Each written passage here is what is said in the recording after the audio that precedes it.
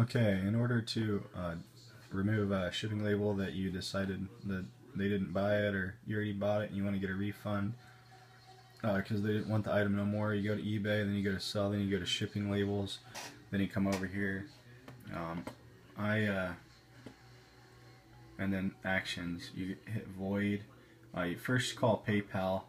That's what I did. Uh, go to PayPal, then go all the way to the bottom of the page, hit contact, call the 1-800 number. Um, someone will pop on the phone, tell me when to uh, do that. They'll tell you to go uh, to this action. You might be able to just go here without calling PayPal. This is where they directed me. Hit void. It'll take uh, 14 to 21 days if it's been more. Anyway, it takes 14 to 21 days, so uh, just put in your description that you charge for shipping if they decide not to buy it. Um, that way you're not out for 21 days out your shipping money. Um, and I guess this one will just automatically um, go back. Um, there was no option here.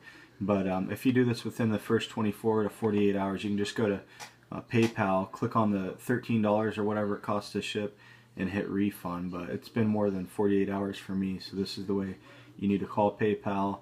Then they'll tell you to come here and uh, hit void, and then you select a reason, and, and that's pretty much it. Then you just wait 14, 21 days, and, and you get your money back. Unless you, you kept part, part of that, um, if you put that in your description, that if they change their mind, uh, you still uh, get to keep the shipping plus like a 10% restocking fee. That's the best way to go. Um, that way, because uh, that really messes you up. Okay, please like, subscribe. Have a nice day.